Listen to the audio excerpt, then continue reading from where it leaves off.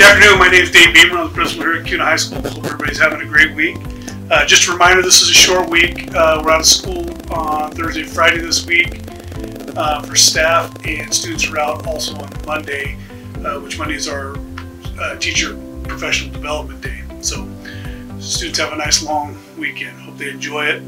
Um, good luck to our activities the rest of the week. Uh, Thursday we host varsity football versus Hawaii. Kickoff is at 7 o'clock. We're also hosting volleyball at home versus Meridian that night.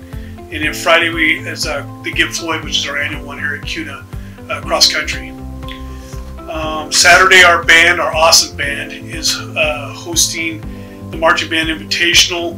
Um, we'll post the schedule as best we can. It's kind of an all-day thing, but we'll put that on social media so you guys have an idea and come out. If you haven't seen them, come out and watch them. They're awesome. Uh, also, like to remind parents, students, and school safety is usually priority here at KHS in Swan Falls. So if you hear something or see something, say something to us. We're, we're happy to investigate any little thing. Uh, we will investigate it. So please help us out. Reminder: send your kids to intervention uh, they need some help. It's 25 minutes every day. Um, everybody has a great weekend, and uh, we'll see you next week. Thanks.